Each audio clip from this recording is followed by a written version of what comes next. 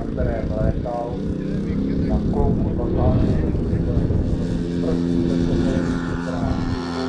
nápis kapitán, polní letec, pilot, František Malkovský. A vždycky, když vrátil před nějakými 15-20 lety se hotovil v letu, tak přišel tehdejší, se vzpomenul, že Malkovský se narodil. No a když jsem před no, 10 lety stal letecký den, tak jsem vzpomněl, že Malkovský se narodil v a cítil jsem, že má dokonce výročí narození. Takže výsledkem toho, toho sporta obraníka Breda před 20 lety, to výsledky. Ale Modelem Avia BH20. Jo, já mu to řeknu. Je třeba že na budově městského úřadu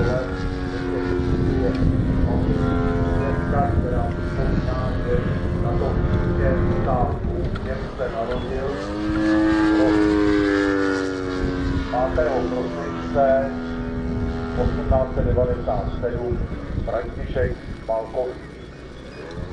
Letos si tedy připomínáme 125 let narození toho chlapa, který byl aspoň 15 let jakýsi československý Martinec Šoukou v té doby.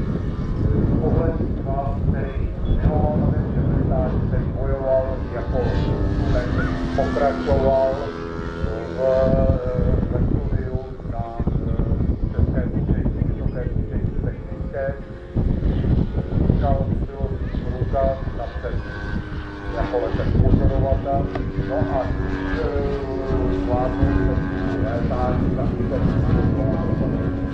A je tam strašně ukázal štěpy na Jako lepší je to při sloupilce. ve Francii. A No jako žádný to takhle jo. Ale já bych stalo se... protože Kdyby byl jako půl procent divák, bychom 10. 8. června v roku 1930 bylo otevíráno letiště Mokrá vrata v Karlových, Orčová vrata v Karlových Varech, 打完这个东西我往想往回走这三个位是在这里。